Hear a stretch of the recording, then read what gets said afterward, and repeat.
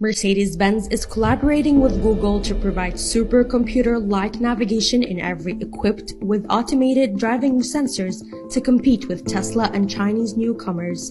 Both new and established automakers are racing to match Tesla's software-powered innovations, which enable remote updates to a vehicle's performance, battery life, and self-driving capabilities.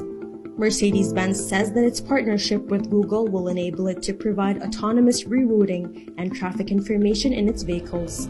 According to the German automaker's CEO, customers that pay for an additional option package can equip their cars with LiDAR sensor technology and other hardware for automated level 3 driving, which has a higher variable cost. When parked or in level 3 autonomous driving mode, which allows a driver to take their eyes off the wheel on some roads as long as they can restore control if necessary. Drivers will even be able to watch YouTube using the car's entertainment system.